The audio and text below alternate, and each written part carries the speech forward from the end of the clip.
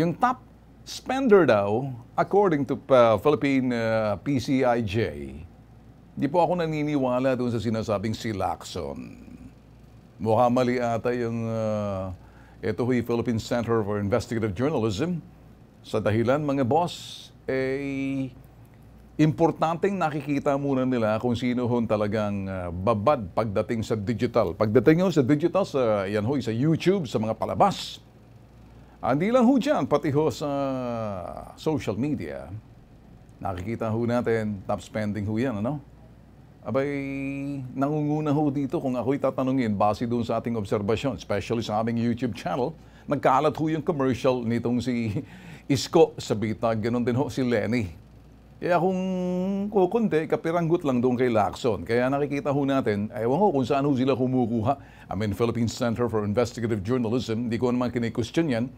Mukhang may mali ata kasi hindi natin pwedeng marinig lamang sa pamamagitan ho ng uh, sinusulat sa kanilang pag-iimbestiga o mano at doon sa nababasa ho natin, napapakinggan na. Iba ho yung nakikita ho natin eh So through our senses, we're using our eyes, and you can easily discern kung sino ho talagang top spender sa kanila.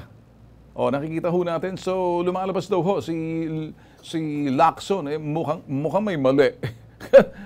Ah, uh, Mariosep.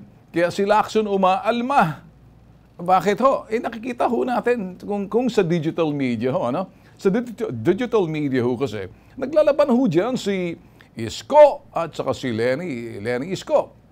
Kasi sinasabi ho ng Philippine Center for Investigative Journalism, halos umabot na daw ng isang bilyon. By, unless kung yung isang bilyon na yan ay binulsa ni si Senator Lacson at hindi ginamit, ibang usapan ho yan. Tanong, eh, tingnan na lang ho natin siguro yung exposure ng mga politiko gamit ho yung mga social media, digital media, para maintindihan ho natin. Kasi uh, sabi ho ni Lacson, hindi daw sila nagbababad sa digital media or traditional media.